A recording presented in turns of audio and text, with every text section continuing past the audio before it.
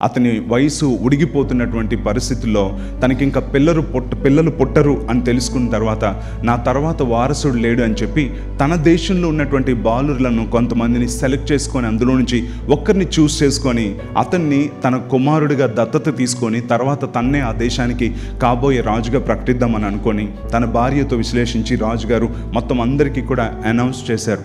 బాలురైన వారందరూ కూడా తీసుకొని రండి అని. కొన్ని వేల మంది ఆ దేశంలో ఉన్నటువంటి ఆ టీనేజ్ బాయ్స్ అందరూ కూడా రాజు సముఖంలోనికి వచ్చారు. వచ్చినప్పుడు రాజుగారు అన్నారు నాకు పిల్లలు లేరు మీలో ఎవరో ఒకరిని నేను దత్తత తీసుకుంటాను. అంటే మీరు రాజకుమారులు అవుతారు తర్వాత ఈ దా ఈ దేశాన్ని పరిపాలించే రాజులుగా మీరు మార్చబడతారు. అందుకోసమనే మీకు ఒక పరీక్ష నేను పెడుతున్నాను అని చెప్పి అందరికీ కూడా సీడ్స్ ఇచ్చారు. విత్తనాలు మొత్తం ఆ యొక్క యవనస్తులందరికీ టీనేజ్ బాయ్స్ అందరికీ కూడా ఇచ్చి మీరందరూ కూడా ఈ విత్తనాలు వేసి నెల రోజుల్లో మీరు దీన్ని పండించాలి.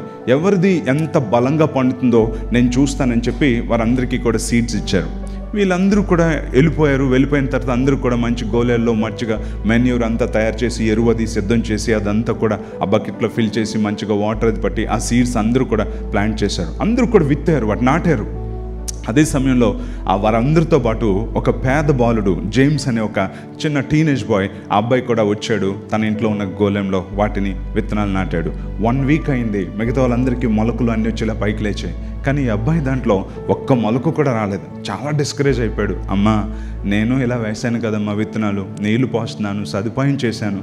అయినా నాకు రాలేదమ్మా అంటే బాధపడకండి నాన్న. కొన్నిసార్లు లేట్ అయినా సరే వస్తుంది అని చెప్పి అన్నారు వన్ వీక్ అయిపోయింది టెన్ డేస్ అయిపోయింది ఫిఫ్టీన్ డేస్ అయిపోయింది. అందరూ జుమ్ జుమ్ జుమ్ అని లేచిపోతా ఉన్నాయి. ఈ అబ్బాయికి కనీసం మొలక కూడా కనపట్ల. ఆ లాస్ట్కి వన్ మంత్ అయిపోయింది.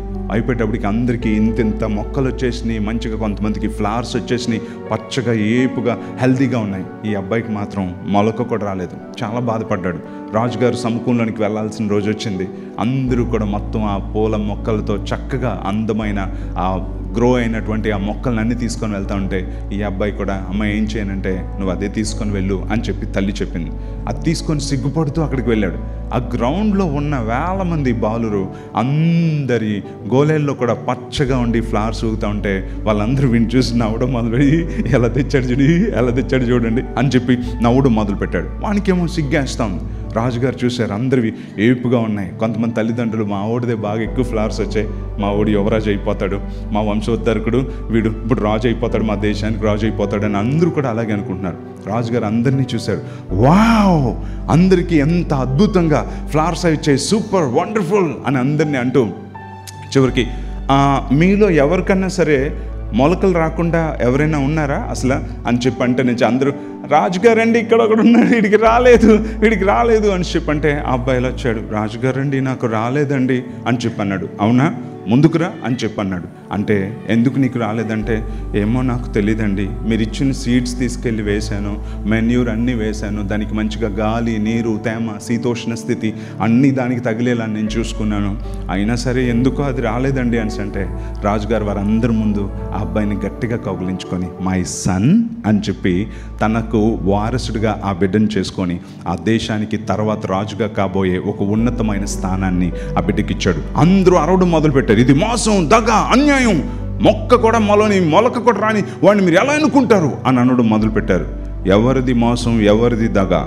మీ అందరికీ నేనేం సీడ్స్ ఇచ్చానో తెలుసా? కాల్ చేసి ఆ విత్తనాలకి రంగేసి నేను మీ అందరికీ సీడ్స్ ఇచ్చాను.